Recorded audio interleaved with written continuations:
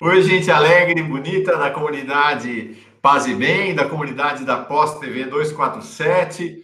Eu sou Mauro Lopes e este é mais um momento, o 16 encontro do curso Retalhos da Nossa História, o curso do presidente Lula, curso que o presidente Lula encomendou, pediu para a gente realizar no desdobramento já do, do já antológico, curso de Canudos, com o professor Pedro Lima Vasconcelos. A gente deu uma parada, uma semana, foi bom, passamos umas reprises bem legais na semana passada, tirei uma semana de férias, e agora estamos de volta, de volta aqui com a programação normal. Agora, essa transmissão está sendo feita ao vivo na segunda-feira, às 5 horas da tarde, e vai ficar disponível no canal Paz e Bem, forever, para sempre, é, por omnia seculum et seculorum, e na terça-feira de manhã, é, você, se você está vendo pela TV 247, a estreia é nesta terça-feira, logo de manhã, na Pós TV 247. Pedro, tudo bem?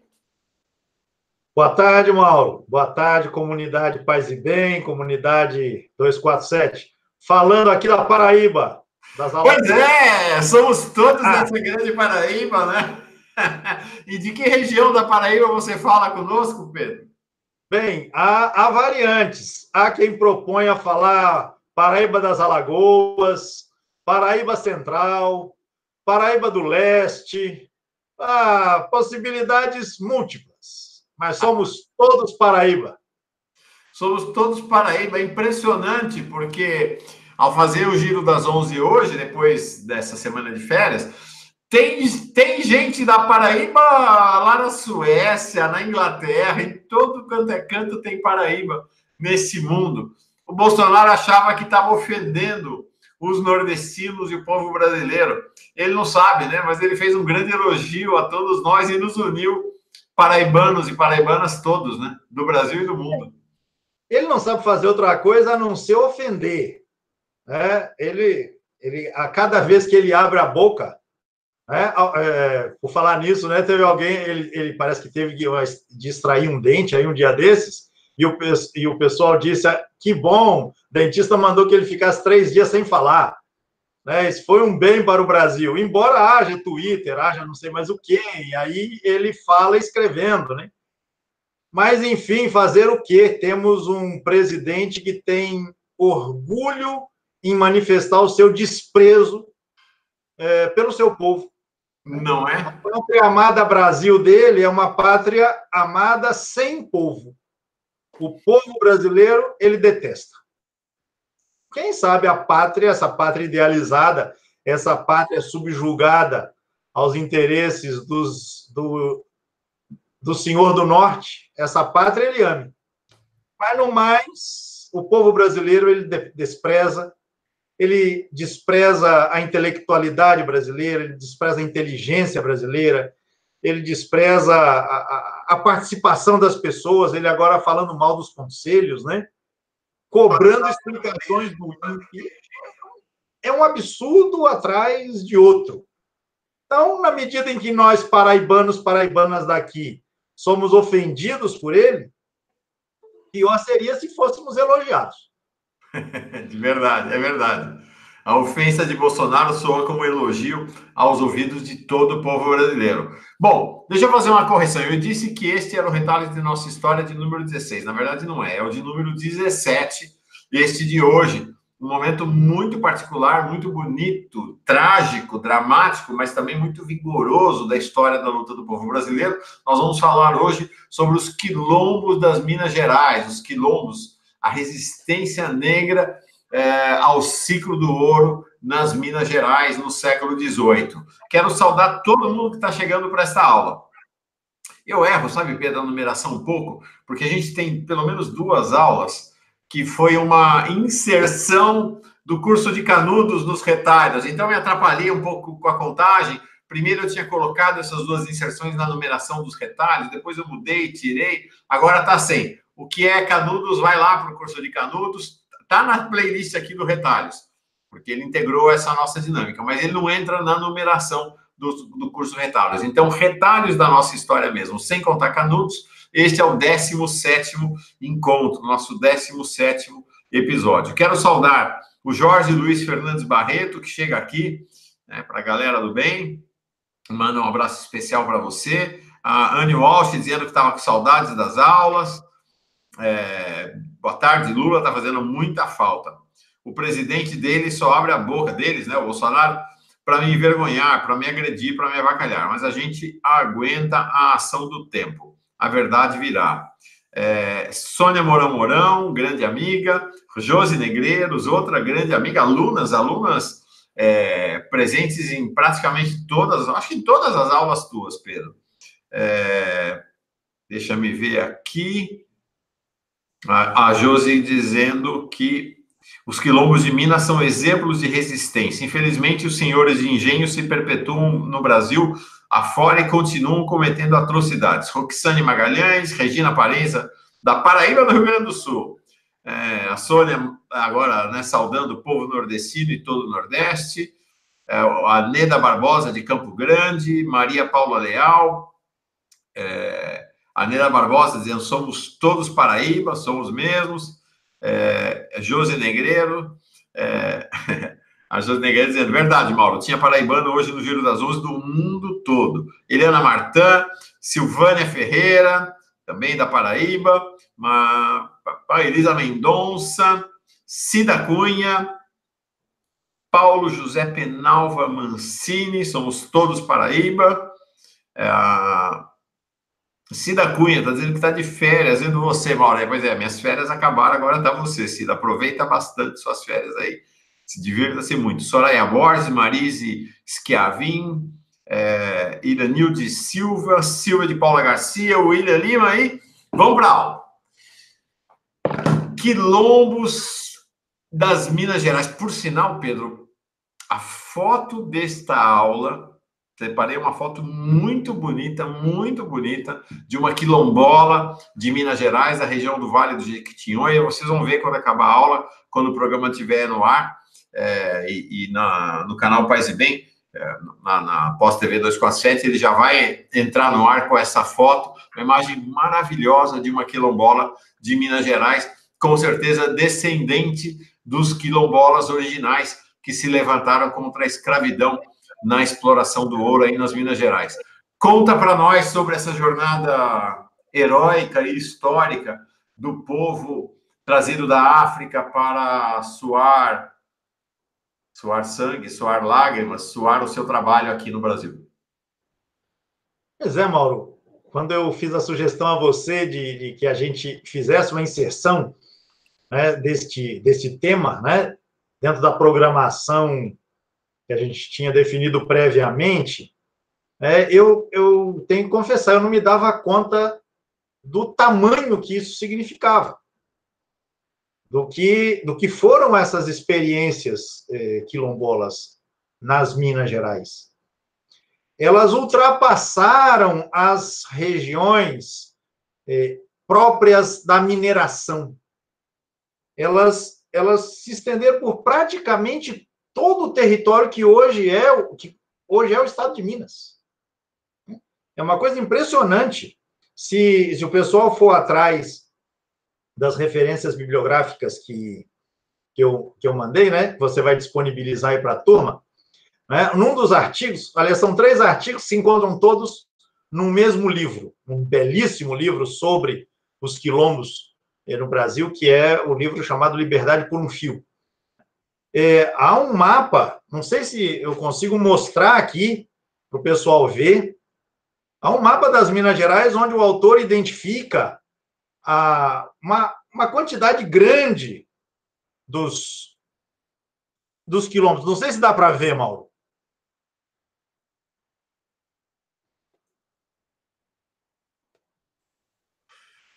É, não dá para ver muito bem, dá para ter uma ideia de que tem muito, muito pontinho aí. Tem muito pontinho no mapa das Minas Gerais, né? Não sei se chegando mais perto ajuda. Ajudou. Pois é uma quantidade enorme, enorme. São dezenas, se não forem, se não passar da casa da centena, né, de, de, de quilombos, de aldeamentos que nos são conhecidos, a mesma história que a gente viu lá no caso de Palmares, né? Nos são conhecidos na medida em que são feitos relatos da sua destruição. É, e eles se esparramam pelo, pelo território. Então, a, a, a, sugestão que eu, que eu lhe fazia dizia respeito a que a gente considerasse, é, meio que esquematicamente, é, a, a resistência negra a partir da, da, da cultura, da economia, daquilo que era o elemento mais importante numa certa região, numa certa época. Então, falamos do ciclo do açúcar aqui na Paraíba, né? na Paraíba ampla, e Palmares como a expressão da resistência é, escrava né? ao modo como essa produção era feita.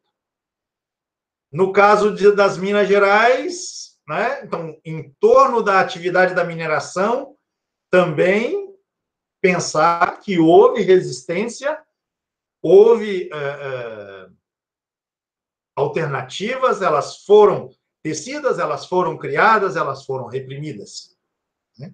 Se temos uma quilombola, como você falou, uma quilombola do Vale do Jequitinhonha, isso significa dizer que houve o reconhecimento de que naquela região né, existiu, e é no século XVIII, né, é, é, um aldeamento com esse, com, com esse contorno, com esse perfil. E já anuncio, né? É, daqui a algumas, algumas semanas deveremos tratar de quilombos é, relacionados ao, ao próximo produto que desperta a cobiça né, é, é nacional, que faz a riqueza do país, agora já o país, né? Século XIX, que é o café. Especialmente no Vale do Paraíba. De novo, a palavra Paraíba vai seguir aqui reaparecendo, né? No Vale do Paraíba, é, no Rio de Janeiro. É, Esse é um aspecto importante do Retalhos da nossa história, gente, e, e acho que essa, para mim, só engrandece o papel do Pedro como professor e a qualificação, qualidade dele como nosso professor dos Retalhos da nossa história. Deixa eu só fazer um parênteses antes. Esta imagem, esta foto é, da capa deste Retalhos, é da Geralda Oliveira, ela é uma das líderes da comunidade quilombola de Catitudo do Meio, no Médio Jequitinhonha, mais de 500 quilômetros longe de Belo Horizonte. Fecha o parênteses para dizer o seguinte: quando Pedro fez a programação original do curso, são, eram originalmente, eu acho que eram originalmente 35 aulas, nós vamos chegar umas 40, Pedro. Não tinha os quilombos de Minas Gerais, nem os quilombos do Vale do Paraíba não tinha os quilombos do ciclo do ouro, nem os quilombos do ciclo do café. E, na verdade, Palmares era uma aula só. E essa questão da resistência negra está crescendo ao longo do curso, né, Pedro? O é, Palmares, que era para ser uma aula, foram duas. Você falou, não, vamos trazer os quilombos das Minas Gerais, e na sequência falou, não, vamos trazer também os quilombos de são Paulo, especialmente Rio de Janeiro, no Vale do Paraíba. Então, a, a, o, a, o, crescente da importância da resistência negra na história do povo brasileiro. É, e, e, a própria conjuntura na qual nos encontramos, não é, ela suscita, ela desafia a que a gente vá atrás dessas, dessas uh, experiências alternativas de resistência, de luta, né, que marcaram a história do povo brasileiro. Né? Esse livro, né, Liberdade por um Fio, ele é precioso porque ele justamente vai tratar de quilombos em, em várias regiões né, do país. Por, por exemplo, aqui, os quilombos do ouro na capitania de Goiás. Uh, quilombos no Rio Grande do Sul. é, há um artigo Quilombos em Mato Grosso. E assim vai. Né? E isso aqui é, é, uma, é um sumário, né? Dizer, os textos aqui são sempre, são sempre muito instigantes, desafiadores, mas eles são uma, uma indicação de um universo quilombola, né? Que se estabeleceu é, no território brasileiro ao longo desses três séculos e tanto. né, de, de escravidão, desde o século XVI até a, a Lei Áurea, que o Bolsonaro está querendo abolir. É, e, aí e aí temos as reedições dos quilombos, né, as reedições contemporâneas dos quilombos. Não vamos, não vamos pensar que, que isso é um fenômeno do passado. Né? A resistência a essa lógica da dominação né, ela vai se revestindo de novas características, mas o traço da resistência, o traço da rebeldia, da alternativa, ele se mantém revigorado, reinventado, né, nas circunstâncias em que nos encontramos no, no atual momento. Então, é isso. outra coisa que experiências atualizadas dos quilombos, o, as ocupações, acampamentos do MST e as ocupações dos sem-teto nas cidades, né, Pedro? Pois é.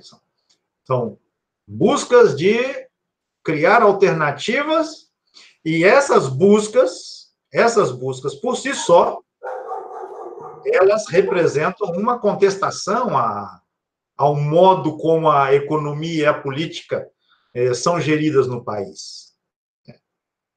Então, efetivamente, temos que chegar ao século XX, ao século XXI, e entender como é que essa história de luta, essa história de sangue derramado, de, de é, Brasis que não estão no retrato, né? Para evocar mais uma vez a inspiradora Mangueira, né? Como é que esses Brasis são tecidos novamente, vão se tecendo novamente, vão recriando-se novamente, né? Nos dias atuais. E, e isso. Reprisamos aqui no Paz e Bem, semana passada, exatamente a aula inaugural do nosso Retalhos da Nossa História, com o Samba Enredo da Mangueira. Foi muito inspirador para nós, né, Pedro? Exatamente. Exatamente. O Mangueira será inspiradora de novo em 2020, gente. Em 2020 já estamos conversando, já fiz até um Paz e Bem sobre isso. O Pedro deu a ideia. A partir, o samba enredo da Mangueira ano que vem é a verdadeira face do Jesus Cristo histórico. Essa Mangueira está fazendo ela mesma história no Brasil. Nós vamos mergulhar nesse tema em 2020. Esperem por nós. Bem mais curso. É empolgante, com certeza. Mas vamos para as Minas? Vamos embora. Vamos para as Minas. E, e, antes de entrar no, no, no, detalhamento de algumas, alguns traços, que a história é, é múltipla, ela tem muitas frentes, muitas possibilidades, queria só dizer que, tanto no caso da, das Minas Gerais, quanto em outras regiões, né, mas especificamente nas Minas Gerais, a gente fala, bem, quilombos relacionados à atividade fundamental que era a mineração. Mas você tem desdobramentos da, uh, do modo como as pessoas vão se situando no território e vão tecendo as possibilidades da sua sobrevivência. Bem, como a lógica fundamental é a mesma, é a lógica da Casa Grande Senzala, é a lógica da escravidão, então os quilombos também vão se diversificar. Eles também vão surgir em função de outras situações que não apenas a prática específica da mineração. Então a gente tem os quilombos das minas do ouro, mas a gente tem os quilombos das minas além da mineração. Né? Também em outros territórios das Minas Gerais não marcados pela atividade é, mineradora, né, mineira, a gente vai encontrar é, quilombos também.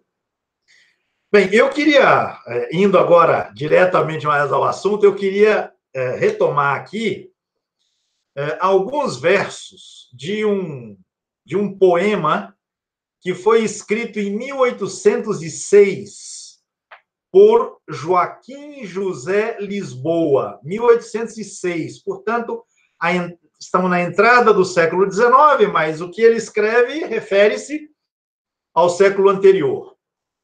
O poema deste Alferes, Alferes em Vila Rica, assim como um tal de Joaquim José da Silva Xavier, né? o Tiradentes, que também era Alferes, naquela região ali. Então, o Joaquim José Lisboa, ele escreveu um poema intitulado descrição curiosa das principais produções, rios e animais do Brasil, principalmente da capitania de Minas Gerais. Uh, este, este poema, ele eu o encontrei na internet, eu vou mandar para você, Mauro, e aí você pode também colocar o link aí para a turma, né? Se, se quiser é, pesquisar, certamente vai, vai se deleitar com a leitura é, desse poema basicamente desconhecido, né?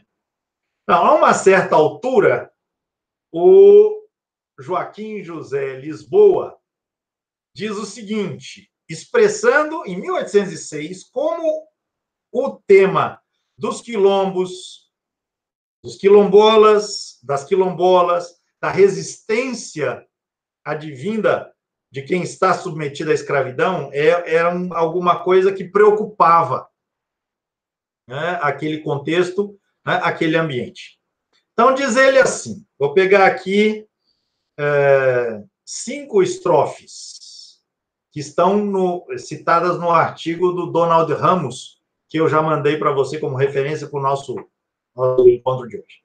Então, diz ele assim: os escravos pretos lá, quando dão com maus senhores, fogem, são salteadores e nossos contrários são: entranham-se pelos matos, e como criam e plantam, divertem-se, brincam e cantam.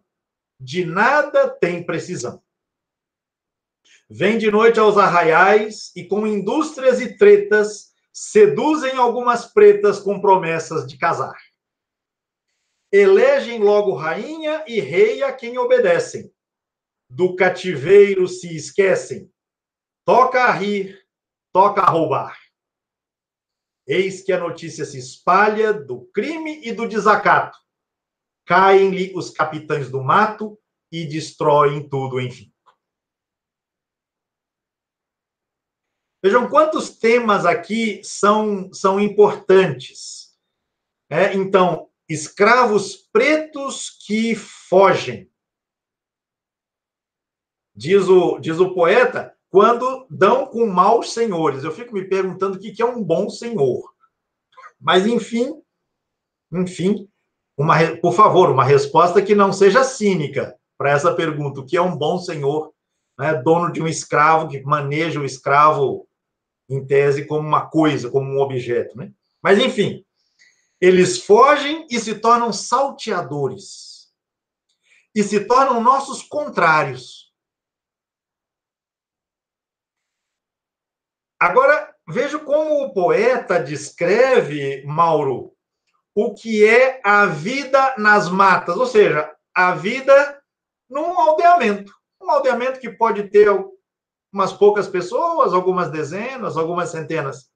Então, eles embrenham-se pelos matos e, como criam e plantam, ou seja, desenvolvem uma, uma economia é, autônoma, e como criam e plantam, divertem-se, brincam e cantam.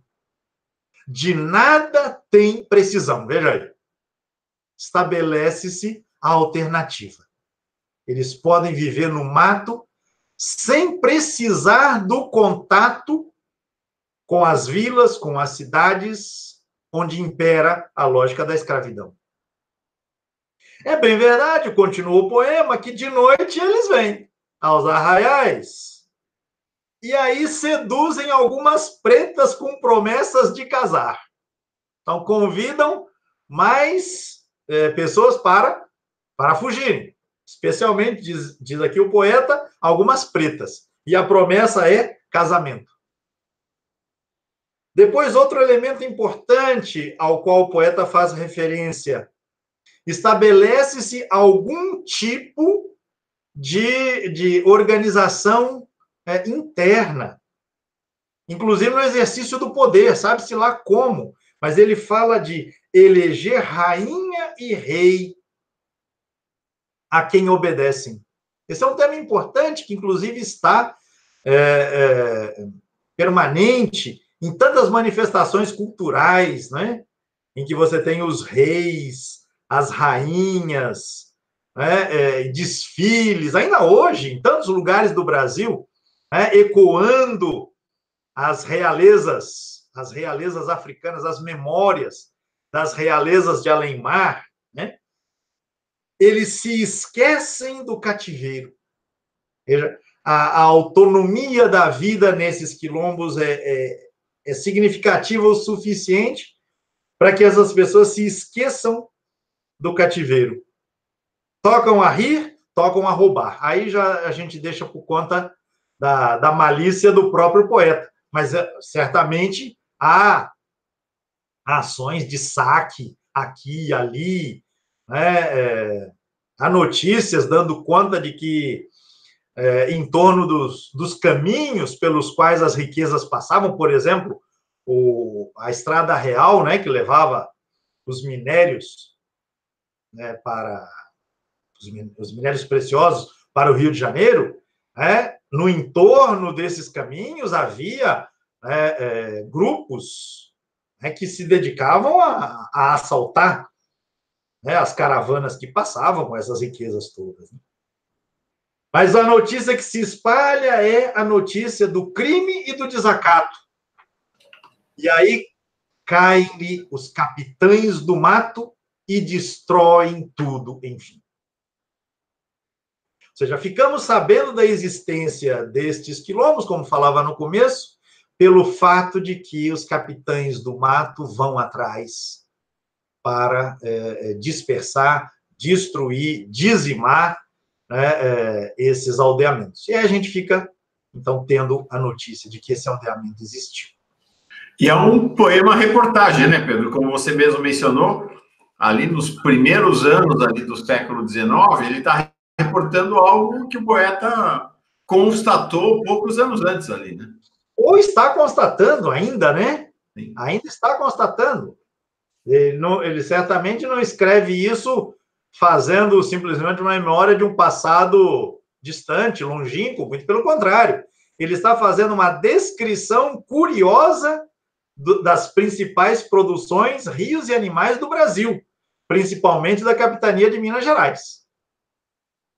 Né? Então, o fenômeno quilombola nas Minas Gerais fica aqui evidente né, por, por conta de uma testemunha ocular se não de um quilombo em particular, mas das notícias sobre os quilombos, das histórias que se contavam a respeito desses quilombos, da, da, das informações, dos temores que esses quilombos, quilombolas, suscitavam né, de, é, junto aos governantes, né, na medida em que, verso dele, estes quilombolas, estas quilombolas, nossos contrários são.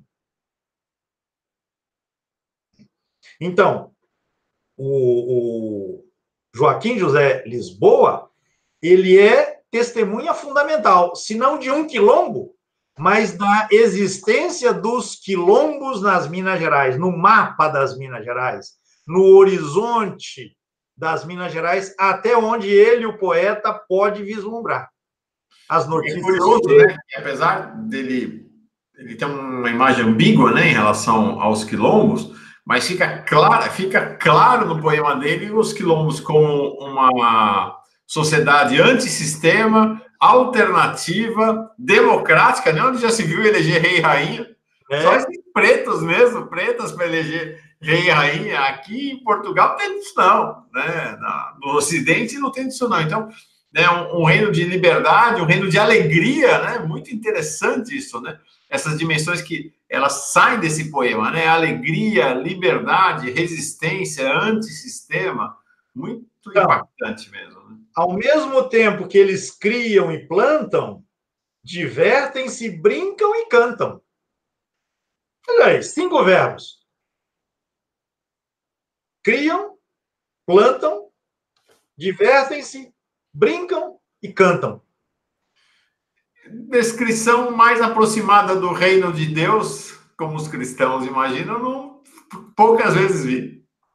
Eu me lembrei, Mauro, se me permite o parênteses, lá do nosso curso, Canudos, o Belo Monte Antônio Conselheiro, aquele político que dizia lá não acontecia nada que não acontecesse em outro lugar, só que acontecia diferente. Eles plantavam, colhiam, criavam, edificavam e rezavam. E certamente também se divertiam, davam risada, cantavam, etc. Né? Então, é, é efetivamente, é um, é um, testemunho muito, muito significativo né, que o poeta, é, com a sinceridade que lhe é possível, né, é, ele apresenta sobre sociedades, sociedades, grupos, agrupamentos, comunidades, que ele diz são nossas contrárias. São nossas contrárias. Ele, ele claramente está do lado de cá. Ele está do lado da civilização. Mas ele, ele se vê é, obrigado, mesmo que seja para dizer que a alegria foi efêmera, por conta da ação dos capitães do mato, que lá se brincava, se dava risada, se cantava e se trabalhava. Se criava e plantava. Impressionante essa dimensão de alegria e trabalho, construção, comunidade. Toda vez que o povo brasileiro tem espaço para construir uma alternativa própria, né? Exatamente, exatamente. E aqui, com o reconhecimento de alguém que é hostil a esses empreendimentos. Né? Mas ele, ele se repita, ele se vê obrigado, mesmo que para dizer depois, está vendo só, alegria de pobre, alegria de negro, dura pouco. Mas enquanto existiu, foi isso: criar, plantar, dar risada, cantar, divertir-se, sair à noite para buscar preta com promessa de casar. Né? Palavras palavras do poema. Este alferes, ele, ele fala, ou melhor, ele escreve uh, em Vila Rica.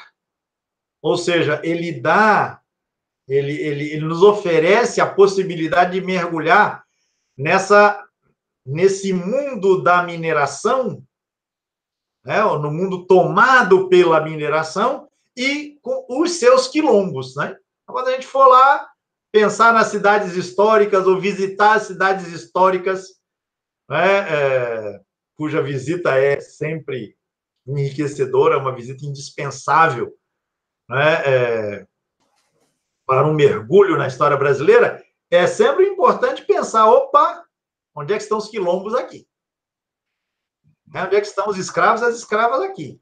A rosa egipcíaca, da qual nós falamos aí em encontros passados, viveu boa parte do seu tempo, do, do, da sua juventude, a primeira fase de adulta, exatamente nesse contexto, né, da, da, da escravidão em torno da atividade mineira.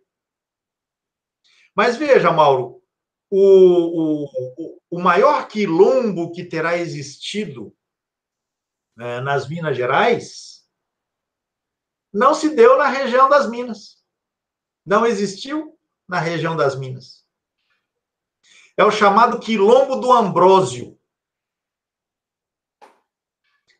E aí há toda uma discussão, a gente não tem como entrar aqui nos detalhes, mas o pessoal querendo procurar vai encontrar informações disso na internet, é, dando conta de que provavelmente esse quilombo do, do Ambrósio não foi um, foram dois. E eles existiram ali por volta da década de 1740, 1750. Na região, na região entre o que seria a região mineira e o Triângulo Mineiro. Né? Então, aquele, aquele, nariz lá do, do estado de Minas, né? Uberaba, Uberlândia, Araxá, a meio caminho entre a região mineira e o que hoje a gente chama de Triângulo, Triângulo Mineiro, você tem uh, a existência desse que terá sido o maior quilombo, que possivelmente se desdobrava em dois, e teriam sido, então, duas incursões né, é, que teriam acontecido com o propósito de, de destruir essas experiências. Quilombo do Ambrósio, fica aí a referência para a nossa turma né, e adiante. A Nilda Maria Ribeiro está dizendo aqui: é, Rei Ambrósio era tão querido, então ela diz: lembra a fama da comunidade de Antônio Conselheiro. é muito interessante né, essa relação que você fez e como as pessoas aqui estão fazendo também entre os quilombos e, e, e canudos, né? E o Belo Monte de Antônio Conselheiro. Diz: olha só que legal. A fama de Rei Ambrósio, como ele era chamado, era de que quando ele cuspia no chão, nascia um pé de milho. que maravilha. Vida em fartura, né? Nos quilômetros, canudos. A, a ideia de que é possível ter vida com fartura, diferentemente do que o sistema oferece aos pobres do país, né? Exatamente, exatamente. Então, e, a, e em, torno, em torno dessa região, então, se teriam desenvolvido esses quilombos de grande magnitude. E vejam, centenas de quilômetros em relação à região das Minas. Mas estão lá, esses quilombos. Esse quilombo desdobrado em dois. Por quê? Porque justamente um ponto importante a, a se levar em conta é que ninguém come ouro. Ninguém come esmeralda. Ninguém come diamante. Em torno da mineração, você precisa criar condições de subsistência para aquele para aquela quantidade de pessoas que se estabelece ali, ou que é estabelecida. Então, gente que vai para lá e gente que é levada para lá. Estou pensando aqui nos escravos e escravas. Essas pessoas precisam comer. Elas vão comer o quê? Elas vão viver de quê? Elas vão vestir o quê? Então, você vai encontrar, e nas Minas Gerais isso acontece com, uma, com um dinamismo muito grande, né, uma diversificação da economia pessoal vai ter que plantar, vai ter que criar, vai ter que tecer, né? E, e então, para além das regiões propícias à extração dos, dos minérios preciosos, das pedras preciosas, você vai ter um alargamento da ocupação humana pela atividade agrícola, pela atividade pastoril. Isso vai alargando o, o, o, a ocupação, e eu falo alarga, alargando numa perspectiva que eu tenho logo que deixar claro, a perspectiva de quem chega como explorador, porque é óbvio que essa região toda das Minas Gerais já está ocupada por pessoas, já está ocupada por grupos indígenas. É, eu estou falando de alargamento no sentido do, do projeto colonizador. Dizer, o, os colonizadores voltaram os olhos para as Minas Gerais por causa das minas, por causa é, das preciosidades. Mas pessoas, grupos humanos, já estavam lá há muito tempo. Né? Então, eu quero deixar claro: esse alargamento não. Eu, eu falo não pensando que antes não existissem pessoas ali, não existissem os grupos indígenas, mas você vai ampliando o território da ocupação colonizadora. Né? E na medida que, se amplia essa ocupação, se diversificam as atividades, se multiplicam os quilombos. É, porque a escravidão também, também se alastra. É, escravos e escravas são levados para lá e para cá. E se multiplicam, se multiplicam os quilombos. Então, esse é um outro ponto, esse é outro ponto importante. A escravidão em Minas Gerais, ela, ela ocupou praticamente o território todo, por quê? Porque para dar conta da, daquilo que a colonização pretendia, que era fazer o saque, né, a predação dos recursos naturais, os recursos minerais, era preciso organizar a sociedade, era preciso viabilizar né, a, economia e a sobrevivência daquelas pessoas. Então, eu me lembro que quando a gente tratou das rebeliões das Minas do Ouro, eu apresentei algumas estatísticas, e eu quero trazer outras aqui, né, apenas para se somarem, e esses dados são, eles são muito imprecisos, né, porque é, as possibilidades de se contarem as pessoas eram muito pequenas naquele tempo, né? Então, há uma, há uma informação dando conta de que, em 1738, auge da atividade mineradora, nós teríamos nas Minas Gerais, até onde se podia contar, 101.607 uh, escravos e escravas. Dez anos depois, 1749, a atividade mineira já começa a declinar. O número de, de escravos e escravas é de 88.286. Tem uma queda de 13 mil. 13 mil indivíduos. Né? Mas em 1786, já estamos perto aí do tempo da Inconfidência Mineira, já estamos na época do praticamente do, do esgotamento prático né, das minas. Veja só, o número de escravos e escravas multiplicou-se, dobrou. 174.135, né? A atividade mineradora cai, mas o número de escravos e escravas se amplia, dobra em relação ao número que tinha sido contado 35 anos antes. Porque isso só é explicável por conta disso que eu comentava anteriormente. Né?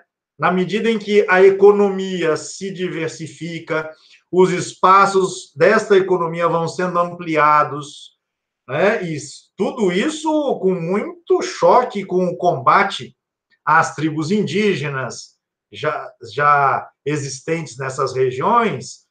Essa economia que não sabe se fazer de outra maneira, a não ser a partir da mão de obra escrava, ela vai fazer com que o número de escravos e escravas duplique, mesmo que as minas já estejam esgotando né, o que elas têm a oferecer. Né? Então, é, é, é, muito interessante pensar né, para além das minas, para além do ouro, para além do diamante, né? Como é que a sociedade é, colônia, nos moldes da colônia, ela vai ganhando essa pujança, mas é uma pujança baseada, centrada, alicerçada na mão de obra escrava. Imagino que eles não contavam nos censos os indígenas, né? Os indígenas estavam fora dos limites, fora do controle, não eram gente, enfim, estavam fora desse universo. Os escravos estavam ali escravizados, então estava mais fácil de contar. Agora, em relação aos brancos, os escravos eram maioria em Minas, Pedro? Em alguns momentos, sim. Em alguns momentos, sim. Isso oscila, né? Obviamente oscila. Mas a, nos momentos de maior efervescência econômica, agora já não é mais só da atividade mineradora, né? Da efervescência econômica, uhum. você tem é, um número muito maior de, de africanos, africanas e seus descendentes, suas descendentes, do que de brancos, sem dúvida. Sem dúvida. Então veja que o universo rico, né, do qual a gente sabe Quase nada. Praticamente nada. Mas ele existe e está à espera de ser, de ser explorado, de ser recuperado, de ser, uh, enfim, trazido à tona né? para alimentar as nossas lutas né, nos dias atuais, para nos inspirar né, na maneira como vamos tecer os nossos caminhos de luta né, no momento em que, nos, em que nos encontramos. Agora, Mauro, eu tenho pelo menos, pensando aqui no nosso tempo, eu tenho aqui pelo menos dois pontos que eu quero, gostaria de desenvolver. Temos tempo, né? Temos aí no tanto de tempo.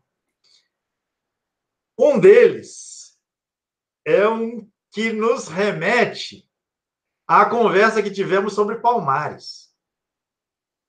Palmares, meu caro, se tornou um fantasma. Como é que começa mesmo o manifesto do Partido Comunista lá do, do, do, do Marx e do Engels? Um fantasma assombra a Europa? Isso, o fantasma do comunismo. É, pois é. A gente poderia muito bem dizer que no século XVIII um fantasma assombrava as casas grandes e seus e seus similares por esse Brasil afora. O fantasma de Palmares.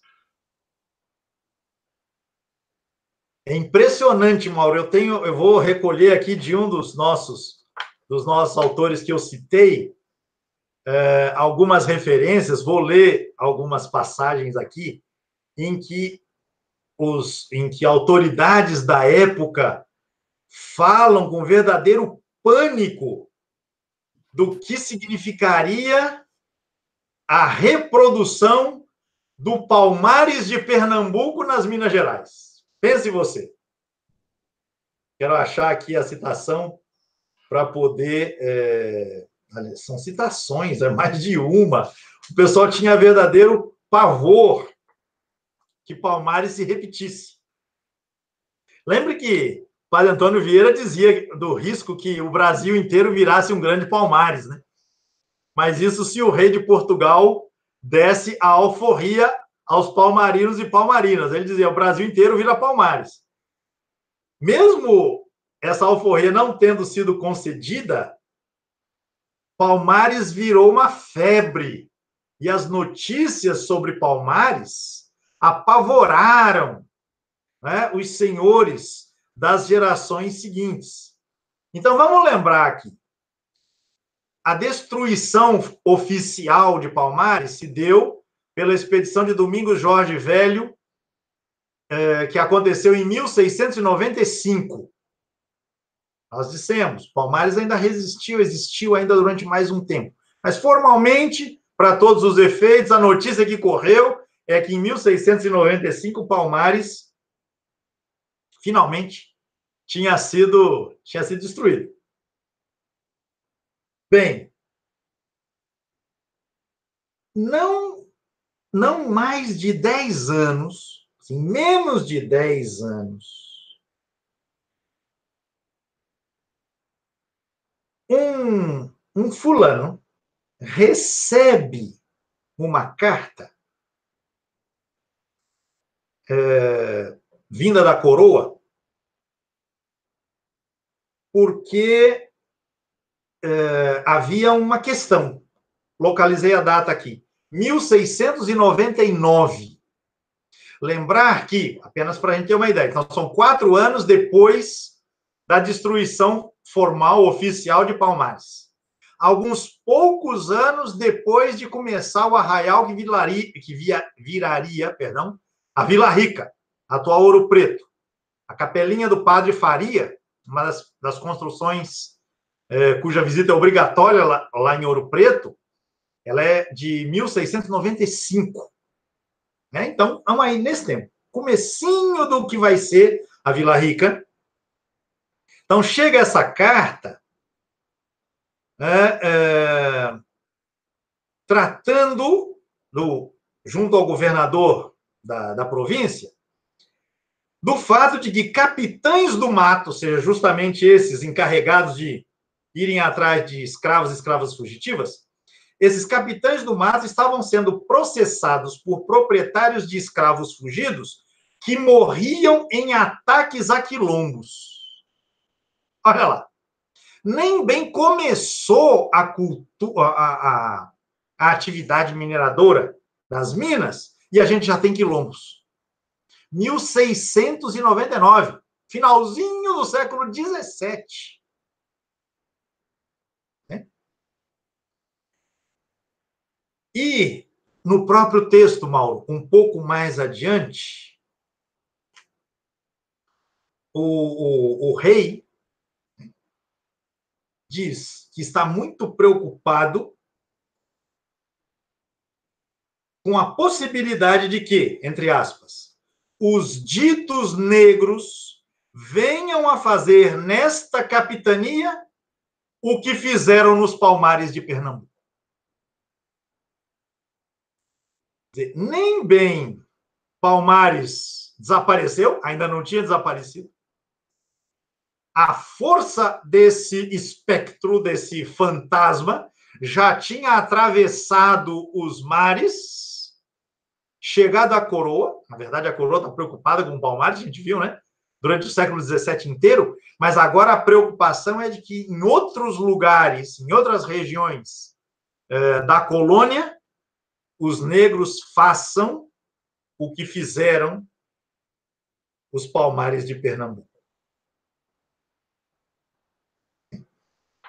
Então, comenta aqui o, o estudioso. A gente fica sabendo por essa carta do rei de Portugal que já existiam quilombos nas Minas no final do século XVII.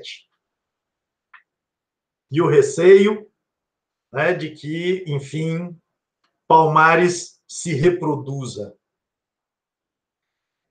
Ah, um outro governador da capitania, famoso, Conde de Assumar, ele é citado em várias outras é, é, situações, por conta de rebeliões que ele tinha que, que acudir, ele era muito pouco hábil no enfrentamento dessas, dessas situações. Então, ele vai dizer é, a, uma, a, certa, uma certa altura, dando instruções sobre como escravos fugitivos que fossem capturados né, é, deveriam ser tratados. Então, diz ele, porque já então me andava remordendo este cuidado, e tenho entendido que sem uma severidade muito reta contra os negros, poderá suceder que um dia seja este governo, da capitania. É, que ele governava, né? que ele conduzia, que seja este governo teatro lastimoso de, dos seus malefícios e que suceda o mesmo que nos palmares de Pernambuco. Isso é um texto é um texto de 1719. Então, 20 anos depois da carta do rei. E o fantasma de Palmares, né, que, que tira o sono, seja dos governadores, seja dos senhores de escravos. Dez anos depois, e agora o governador é um tal de Dom Lourenço de Almeida. E ele, em 1730, ele vai lamentar que as estradas né, é, da sua capitania estavam cheias de negros ladrões e matadores. E é preciso que se castiguem com pena de morte, executando-se nestas vilas para exemplo dos mais negros, porque não havendo castigo, podem ir crescendo em tão grande número que venham a dar o mesmo cuidado que deram os palmares em Pernambuco além das muitas mortes que fazem carijós, mulatos e bastardos.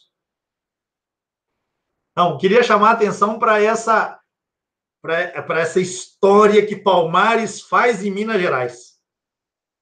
O fantasma de Palmares, que assombra, que tira o sono, que tira a tranquilidade dos senhores e dos governadores da capitania.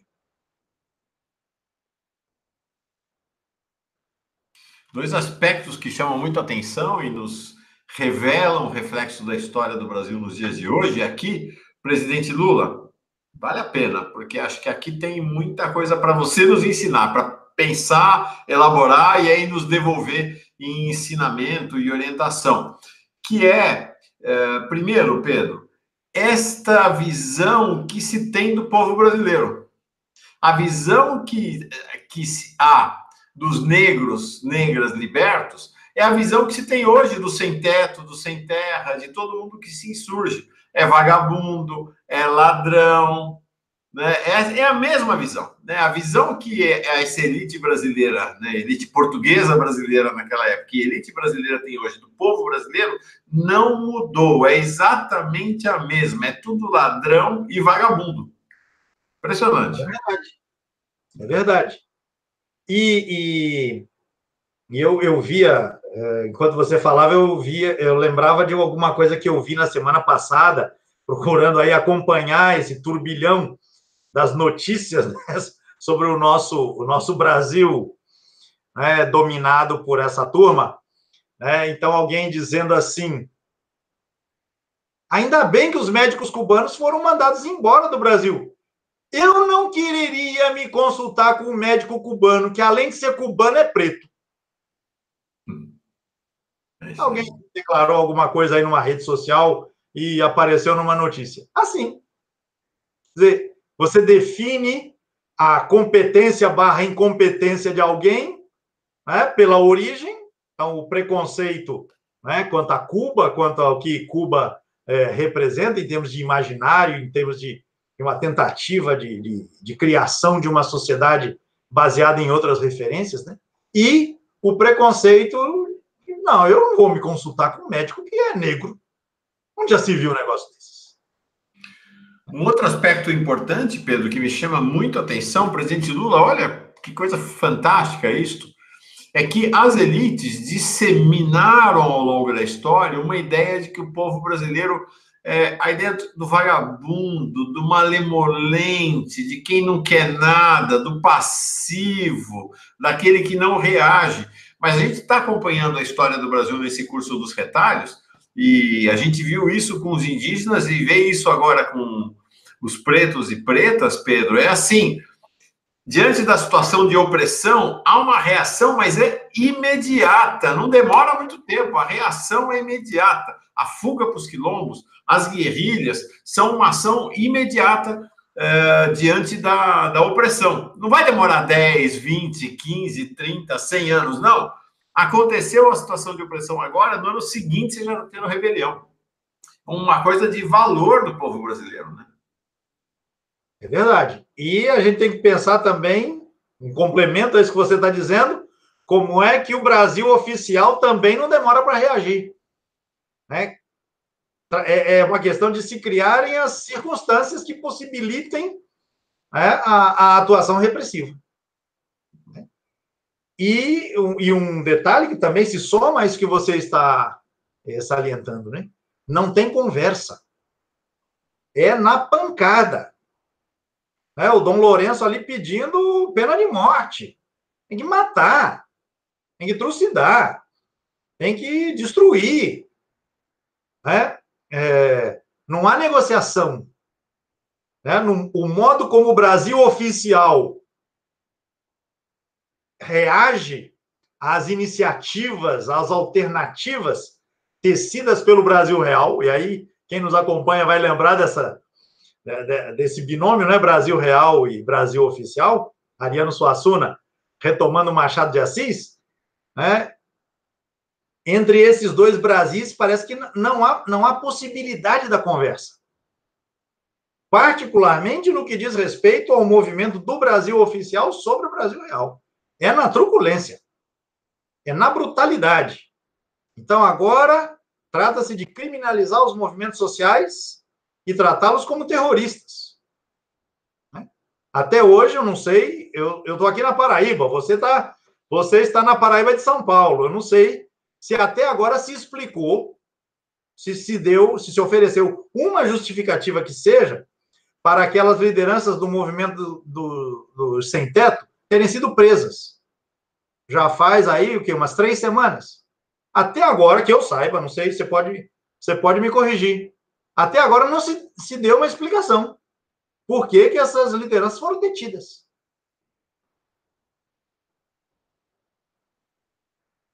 São presos políticos. Presas e presos políticos, né? A propósito, pretos e pretas. Todos. Pois é. Isso, no, isso porque no Brasil não há não há prisão política. Você tinha falado de um segundo aspecto, além desse, Sim. do espectro de Palmares, né? E aí eu te interrompi com essas digressões aqui, que é só, é só provocação para ti, presidente Lula, para você nos devolver em ensinamento e orientação, tá? Então, é... o outro ponto que eu queria destacar aqui, na verdade, só chamar a atenção dele e remeter a turma para a leitura, porque um dos artigos que eu citei da professora Laura de Mello Souza, uma das grandes autoridades em, em a história do, do Brasil nos tempos da colônia, trata exatamente deste, deste episódio. Qual é o episódio? É uma expedição é, que foi organizada em 1769 para combater quilombolas. Então, ela pega a notícia que existe sobre essa expedição especificamente, né, é, que sai é, a 18 de agosto de 1769, comandada por um tal Inácio Correia Pamplona, que se orgulhava justamente dessa sua condição de, de caçador de quilombolas. Então, para é, é, atacar, combater, destruir é, quilombos Minas Gerais adentro. É, essa ação de combate a, aos, aos quilombos, feita por esse fulano, Inácio Correia Pamplona, vai render a ele é, uma série de benesses. Inclusive, ele estava, ele tinha passado por maus lençóis diante da administração, mas ele conseguiu limpar o nome dele ao se tornar um, um caçador né, de escravos e escravas fugitivas e destruidor de, de quilombos. Um miliciano, né? Hã? Um pois é, miliciano. é, chefe de milícia. Ele é o chefe né, da, é, da milícia. E o que eu quero destacar aqui na, na apresentação brilhante que faz a professora Laura de Mello Souza é o que eu quero destacar são, na verdade, alguns detalhes né, é, relativos a essa expedição, né, que, ela, que ela analisa com, com maestria. Eu recomendo muito né, a leitura desse, desse texto. Então, há um relato sobre essa expedição. E, e ela diz que o relato é perpassado, é atravessado do começo ao fim pela ideia de contraste, uma ideia de contraste entre civilização e barbárie. Um binômio que a gente já encontrou em outros, em outros contextos, né? em outras situações. E a ideia é de que os capitães do mato, os caçadores de escravos e escravas, os destruidores de quilombos, são os portadores da civilização. E que os quilombos e a população quilombola são a expressão da barbárie. Então, diz ela, é, o relato todo é perpassado por essa ideia. O que se está fazendo não é destruir quilombos, não é matar pessoas, não é reescravizar pessoas que tinham durante algum tempo vivido o sonho da liberdade, tinham concretizado o ideal da liberdade e aí podiam criar, plantar, divertir-se, dar risada, cantar. Não, eles não estavam fazendo nada de deletério. Estavam levando a civilização. Então, esse é um detalhe ao qual a professora chama a atenção. Outro detalhe nos faz imaginar exercitar a imaginação, porque a gente diz, ah, sim, foi feita uma expedição né, para destruir quilombos. Mas quem eram estes membros da expedição? Quem compunha uma expedição é, como esta? Então, diz ela aqui, não, era, não eram apenas homens destemidos, facínoras, ou muitas vezes escravos que se colocavam a serviço dos seus senhores para combater escravos que ex-escravos e escravas com a promessa de terem a liberdade, de terem algum ganho, porque isso também existiu. Não eram apenas pessoas sedentas de sangue. Diz ela, a comitiva tinha também um capelão o padre Gabriel da Costa Rezende. Havia também na comitiva um cirurgião, um médico, ou seja, para atender ali né, os membros da expedição que por acaso se ferissem, fossem feridos, né, tivesse algum problema é, de saúde repentino. E uma companhia de oito músicos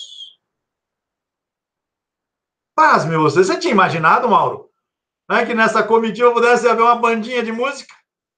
Pois é, uma comitiva, né, aliás, uma companhia de oito músicos. Diz a Laura, vou ler aqui o trecho em que ela faz a descrição. Vamos imaginando a cena. Dos quais, desses oito, dos quais um só era branco e sete eram escravos negros. Contando-se ainda dois pretos tambores com suas caixas cobertas de encerado. E aí comenta a, a professora: a presença dos escravos músicos revela um dos aspectos civilizadores mais intrigantes dessa expedição. Munidos dos mencionados tambores e ainda de violas, rabecas, trompas e flautas transversais, todos eles, diz ela, todos eles instrumentos fáceis de carregar e por isso muito usados nas minas de então, os músicos, a cada amanhecer, tocavam e cantavam suas letras. Essa expressão suas letras se encontra no documento. Às vezes em canto chão. Você que foi monge, canto gregoriano. Às vezes entoando ave marias, ladainhas ou tedeums era um, é, é um cântico de que era, que, era, que era entoado principalmente em situações de vitória, de vitória após um combate. No caso aqui, ao que tudo indica, já cantavam por antecipação, né? O Tedeum, né? agradecendo a Deus pela vitória contra a barbárie. Continua ela. Executavam missas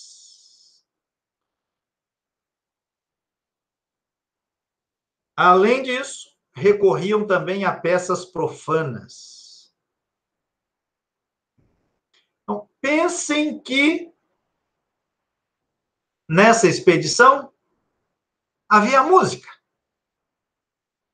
E havia evocações musicais, musicadas, cantadas ao Deus cristão, para que abençoasse a empreitada civilizatória. E missas. Com missas, ladainhas, etc, etc, etc. De novo, o aprisionamento do Deus cristão né, ao projeto da colonização. Um aprisionamento que já vem, como a gente tem falado aqui o tempo todo, né, desde 1500. A fé e o império, né, que foram sendo ampliados pelos portugueses, como dizia Camões mas a gente vai vendo como é que isso se desdobra, né? Nas situações que a gente menos espera, está lá uma evocação ao Deus cristão, uma evocação a Maria numa ladainha, uma missa, um cônego dando a bênção, dando, ouvindo a confissão, é, enfim, incentivando a expansão da civilização, leia-se a cristianização, que tem como preço o extermínio de vidas humanas, né? sem contar, sem que a gente possa contar. Dá para entender melhor essa atitude do presidente da CNBB, cardeal arcebispo, exatamente, ó, Belo Horizonte. Belo Horizonte, coração das Minas Gerais.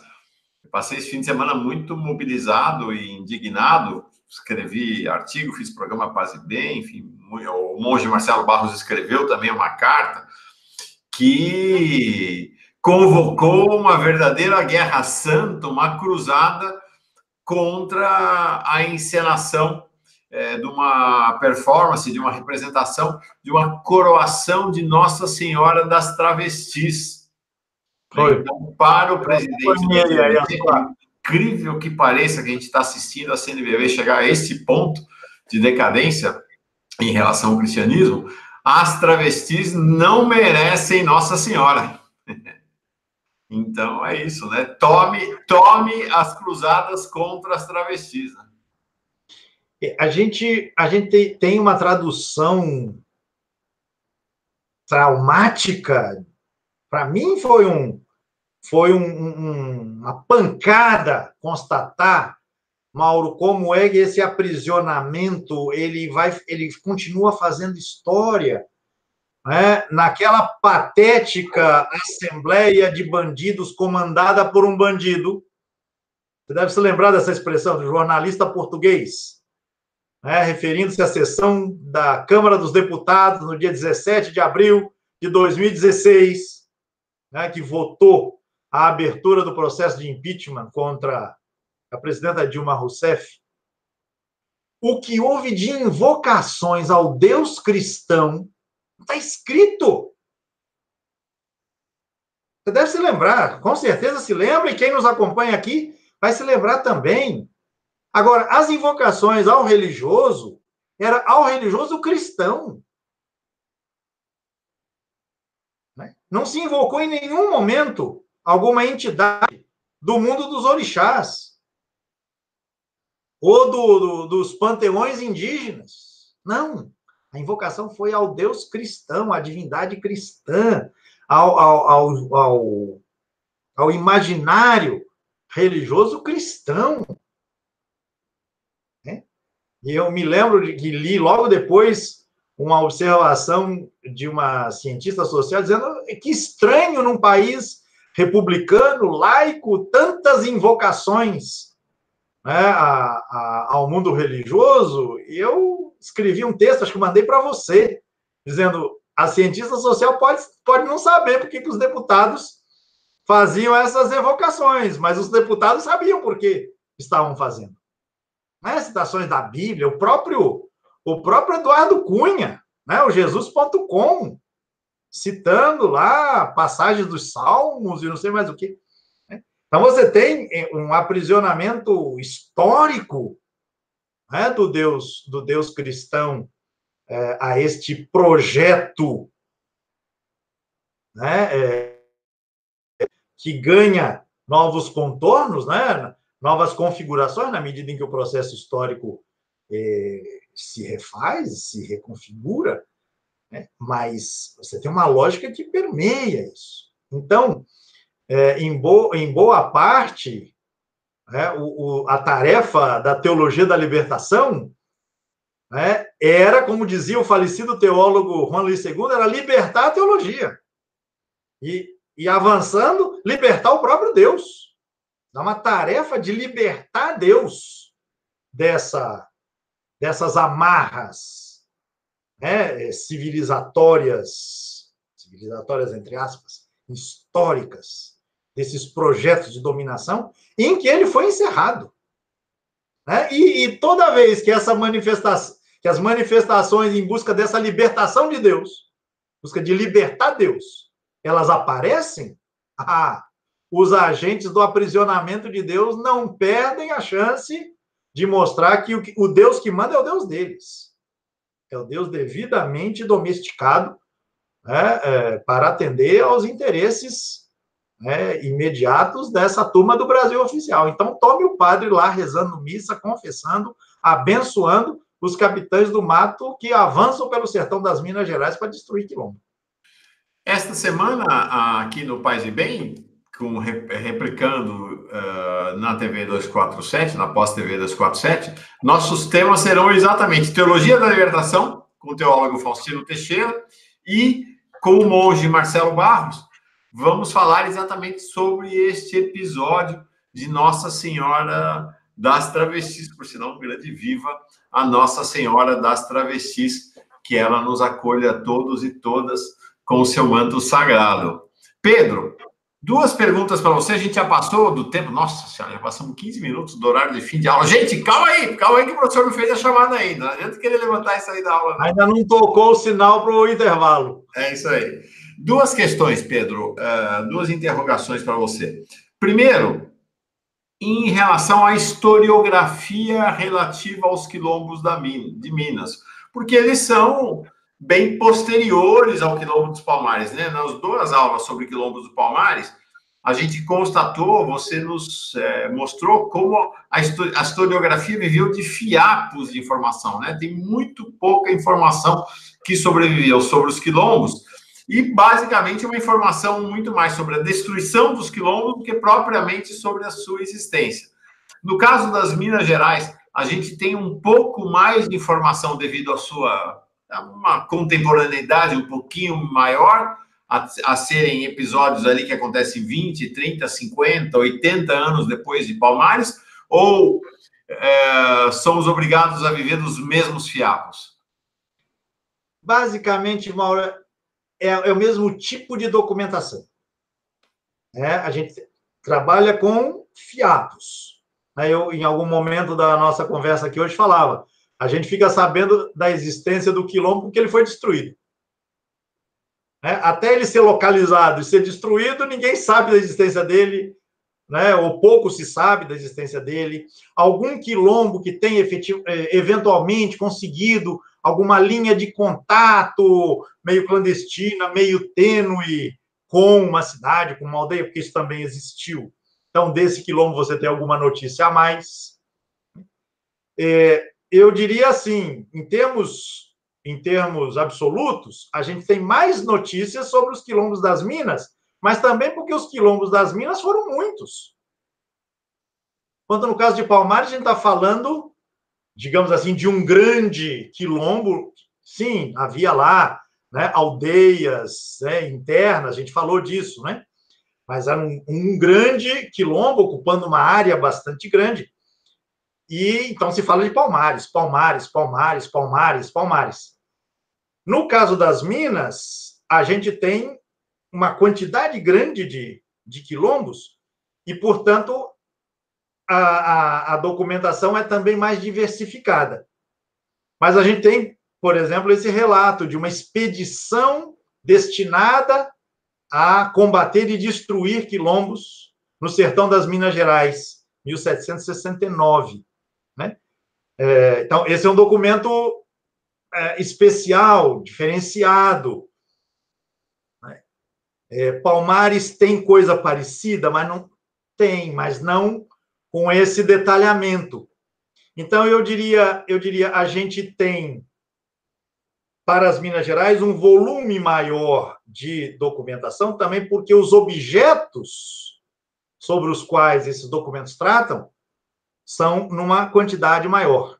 No caso de Palmares, a gente fala como se fosse uma coisa só. Na verdade, foi um, uma articulação que ocupou um território grande, mas você tem um, um enfrentamento, digamos assim, unificado.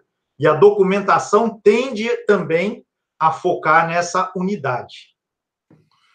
Creio que respondi, né? A sua, a segunda questão é em relação à subsistência, sobrevivência da experiência dos quilombos. Me parece que em Minas Gerais eles vão ter uma longevidade maior que Palmares, exatamente por essa característica, né? O quilombo de Palmares estava lá, é, tratava-se de destruir. Ah, no caso dos quilombos das Minas Gerais, Pedro, me parece que a gente vai ter uma sobrevivência deles, inclusive ao longo do século né, 18, 19, 20, agora século 21, ainda algumas experiências que subsistem desde então, não é? Então, também eu acho que a gente tem que estabelecer aí algumas relativizações. Dizer, alguns quilombos, ou uns tantos quilombos, foram destruídos. Né? Completamente, né? É, completamente, completamente. Outros vão sobrevivendo sem que sem que haja notícia a respeito deles. Né? E vai ser mais recentemente com o interesse é, pelo tema, e inclusive pela própria aplicação da política pública de reconhecimento dessa trajetória. Então, você vai ter a identificação de quilombos que terão existido desde o século XIX, desde o século XVIII, por conta da existência dos seus descendentes. E aí você vai ter a demarcação daquela terra. Por quê? Porque somando-se ao testemunho advindo da descendência, com documentação aqui e ali, com referências é, advindas, por exemplo, de achados arqueológicos, né? aí você houve todo um trabalho muito sério, né? basicamente a partir do, do governo Lula, né, de identificação de regiões onde esses quilombos terão existido, com uma vida mais longa, com uma vida mais curta, e com a, a sobrevivência autônoma desses contingentes humanos, alguns deles chegando até o, os dias de hoje. Né? Então, a gente tem histórias muito diversificadas. Quilombos completamente destruídos, né? Esses a gente acaba conhecendo mais, né? Ironia da história. Por quê? Porque se, se tem o um relato de que o capitão tal comandou uma expedição que foi lá, destruiu o quilombo comandado por fulano de tal, que tinha essas e essas características, se localizava é, especificamente nessa região. Então, desse quilombo destruído, você tem notícia. Eu arriscaria, assim, uma, uma afirmação para fazer pensar. Quilombo que sobreviveu foi aquele do qual não se teve notícia. A, a frase fala mais pelo que sugere, né? Porque se ele se, se tem notícia dele, o capitão do mato vai atrás. Se se tem notícia Sobreviveram dele, os que conseguiram se manter clandestinos, vamos dizer assim. Exatamente. A sobrevivência, a sobrevivência na clandestinidade. É, é, foi isso que aconteceu. Foi isso que aconteceu. Por que é que a gente tem hoje, insisto, por que, que a gente tem hoje o reconhecimento, ou teve, agora o. o agora os capitães do mato estão de volta, né? Ah, agora o capitão do mar está de volta. Exatamente. Por, que, que, ele, por que, que a gente tem o reconhecimento de um território quilombola? Porque a gente tem descendentes de quilombolas. Ora, essa descendência só, só pode existir, só pode desenvolver-se na medida em que, estabelecido o quilombo, a história aconteceu, aconteceu, aconteceu, sem que fosse notada. Durante um século, dois séculos, dois séculos e meio. Né, eu estou pensando aqui num, num quilombo especificamente eh, que nos remete para um tema que a gente vai tratar, né, que é o quilombo da região lá do Vale do Paraíba, é, do, do, Café, no Rio de Janeiro. É, é, um quilombo de dois séculos de existência. Como é que esse quilombo sobreviveu? Ele só sobreviveu porque era ignoto, era desconhecido.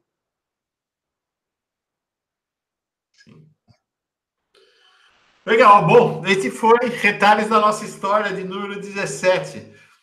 A rede de quilombos das Minas Gerais. Nem foi provavelmente uma rede, né? Porque foram iniciativas dispersas, espalhadas pelo território, mas esse conjunto de quilombos da resistência preta em Minas Gerais, que orgulha o povo brasileiro e sua história. Próximo encontro o Retalhos da Nossa História de número 18, será sobre a insurreição pernambucana de 1817. Paraibana. Vamos ter, que mudar o nome. Vamos ter que mudar o nome do. Agora, agora rebatizada, Insurreição Paraibana. É isso aí. De 1817. Então, voltamos na, no próximo encontro nosso com o século XIX já. É isso aí, né, Pedro? Exatamente, exatamente. Legal. Um grande Valeu, abraço para você, Mauro. Muito obrigado, um abraço a todo mundo que nos acompanhou e até semana que vem. Paz e bem. Obrigado você, Pedro. Aprendi demais hoje. Paz e bem, paz e bem todo mundo.